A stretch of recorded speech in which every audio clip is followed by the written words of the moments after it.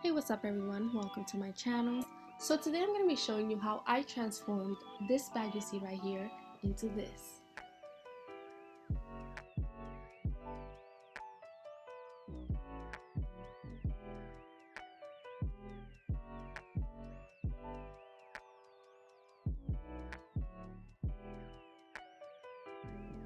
So if you're looking to do this for yourself, you're gonna need some gloves to make sure that your hands are protected. You're also gonna need some beige leather paint. More specifically, I use the Angelus brand. You're gonna need something to apply the paint, so you can either use a cotton dabber or you can use a sponge. I personally am going to be using the cotton dabber, but as you can see, the sponge is very useful as well. I also got an all-purpose cleaner and conditioner just in case I need to uh, wash any excess paint that is dried on the purse, but we'll see if we need it afterwards. And of course, you're going to want to use a plastic bag or some newspapers to make sure that you don't stain the area we're going to be working on.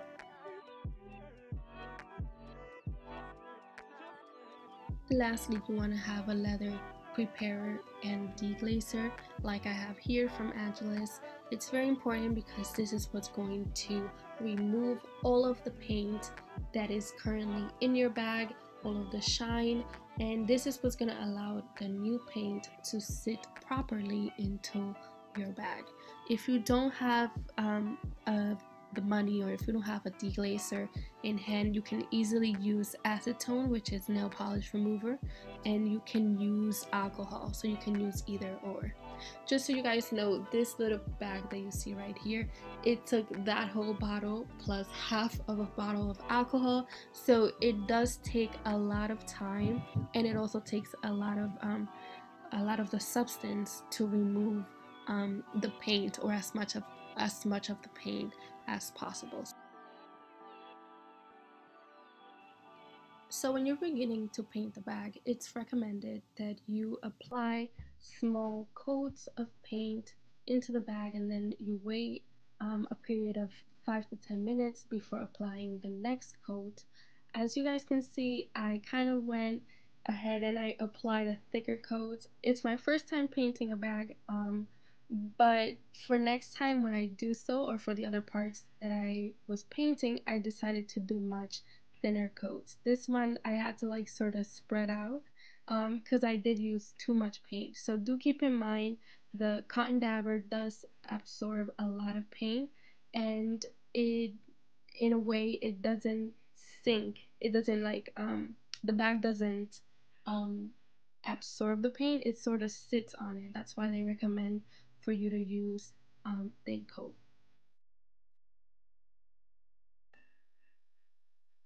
Okay you guys, so this is how the first coat looks like. As you can see, you can still kind of see the pink in between somewhere in the purse, but that's all okay. You want to make sure that you take your time um, doing this process. Make sure um, that you rub any like weird streaks of paint. Just try to make it as smooth as you can every um, every time you apply a new coat.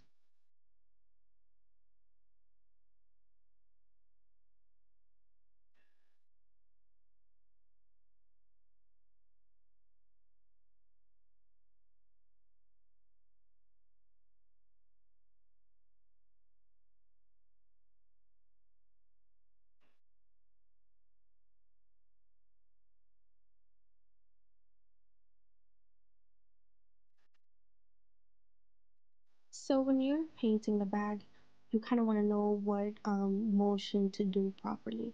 You honestly can either do the circular motion or you can do it on a line.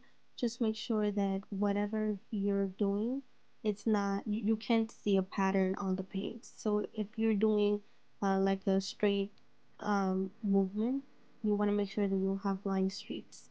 Um, paint, you know, paint line streaks and you might want to like go in a circular motion against those to just blend them out. The whole purpose of this is to make sure that you properly blend the paint. You don't want it to look like it's painted.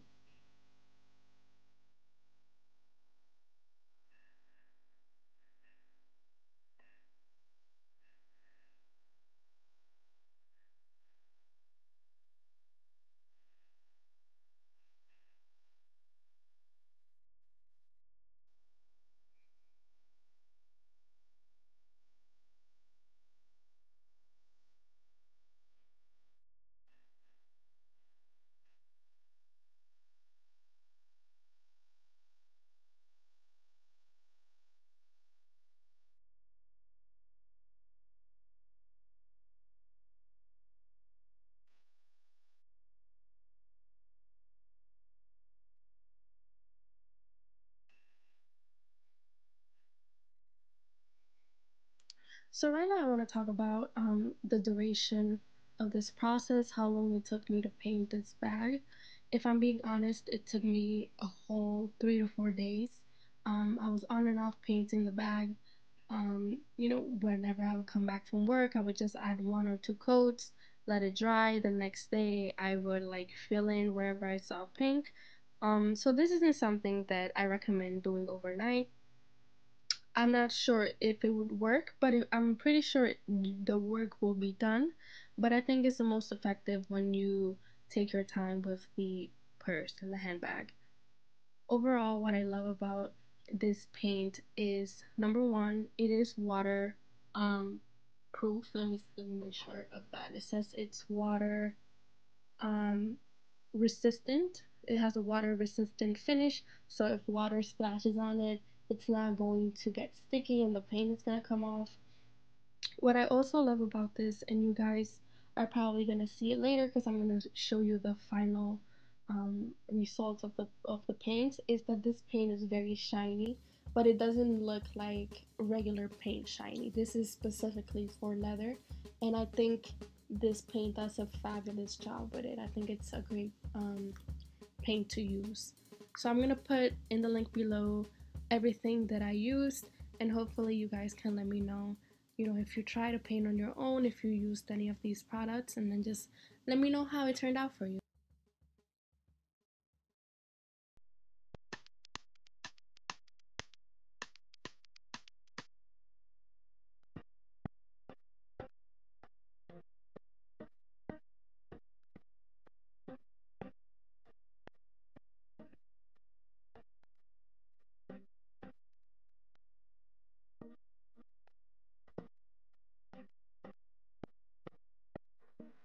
So one very important tip when it comes to painting the bag is that you want to make sure that you paint by section. So once you finish finish a section, let it dry for 5 to 10 minutes, move on to the next section. Let it dry for 5 to 10 minutes, then the next section. And that's how you'll be able to manage painting the bag um, nicely because let's say you paint the entire bag at once if you lay it down it's bound to have some imperfections. Some of the paint is going to come off uh, or it might rub off on the wrong places. One area might have more than the other. So you do want to be able to um, balance yourself a little bit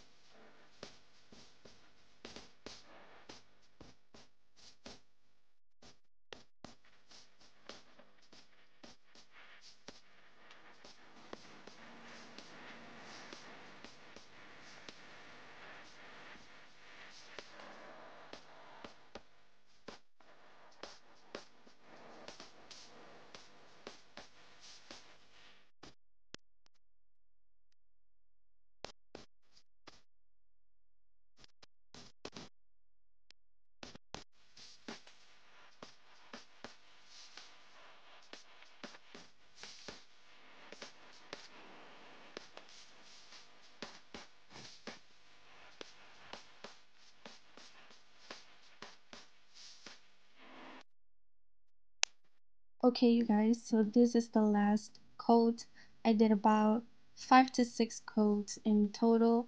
And I do have to say, I'm very proud of my work. This is my first time painting, although I'm sure there were some things that I wish I would have done differently. Like, I do notice that uh, some of the paint, you do see the streaks. That's why I'm like being so obsessive about it in this video. Try to make sure you guys are better than me at this. Um, overall, I'm very proud of how it all came out. Like I've worn this bag a couple times on the streets and people love it and they really cannot believe I painted this bag. So overall, you do want to make sure you feel comfortable wearing it. Um, no one's gonna notice those minor imperfections, so be proud of your work and be proud of yourself. What I also love is the fact that the paint is very cheap and if you guys are feeling adventurous, you guys can always go back and do the same process again with a different color or even with the same paint. Um, I also want to let you guys know that um, the bottle I showed you was more than enough to paint the paint, uh, to paint the paint, to paint the purse, and it even allowed me to do touch-ups. So uh, I'm super excited about this.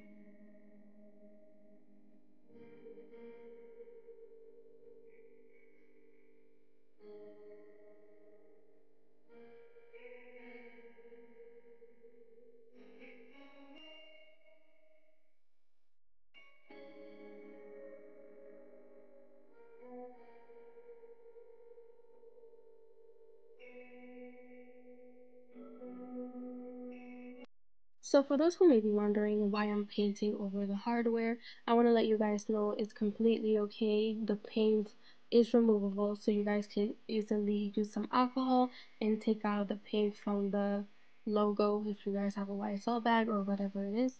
Um, so don't be afraid, don't be shy, just paint all over the logo. Make sure you get those spots that you need to paint on.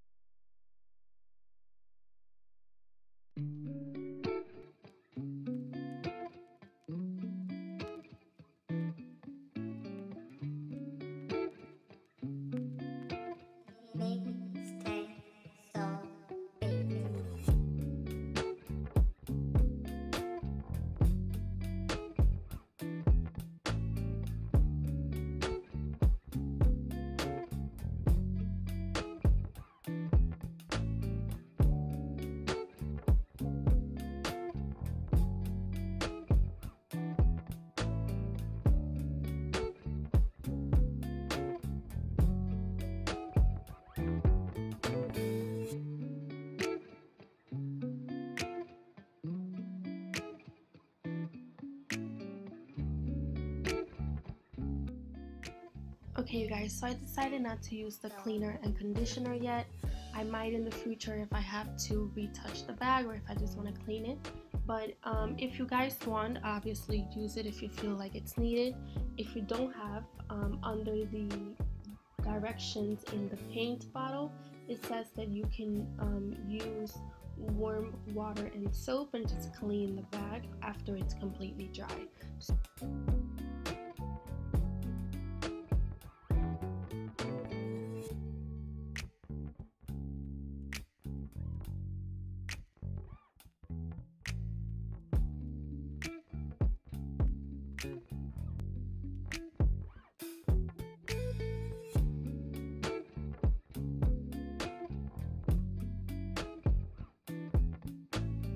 okay you guys so this is the final product. I hope that you enjoyed this video. If you did don't forget to subscribe hit that notification button and like the video. You guys have an awesome day